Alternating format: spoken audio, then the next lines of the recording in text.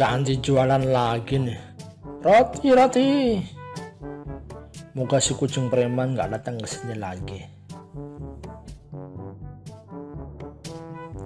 Waduh yang diomongin malah datang. Tenang gue ada pengawal sekarang.